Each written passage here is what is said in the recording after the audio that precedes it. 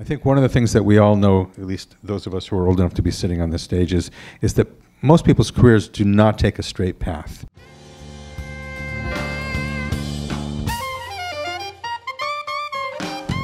Going with the attitude that I can help you, I can make you look better because of my skills. Um, so they're paying you to do a job, or we're paying you to do a job. So how are you going to help my bottom line? Is the way you know we look at it. Um, not how can we help your career. It's, the fluidity of being a, having a musical career is especially true now in the 21st century. So I would say be diverse.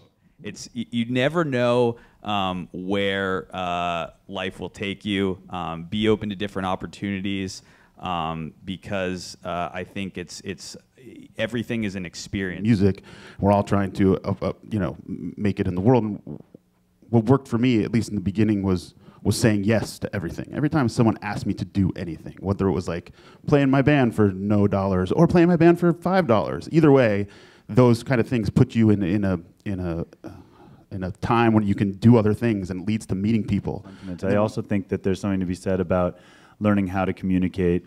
How can I play a role on the team to get it done? And, and usually that's through communication. And so follow your passion, get the paycheck, but at the end of the day, if you're not passionate about what you do, you're not going to be happy. Everybody's talking about here are leader, leadership skills, which, you know, there are you know, countless courses and books on leadership skills, and that's because you know, it's an important um, aspect of, of maintaining a career and, and moving upwards. But just follow your passion. I think that's what everybody up here has done. It's what's made them successful, and I, I promise you it'll, it'll help make you successful.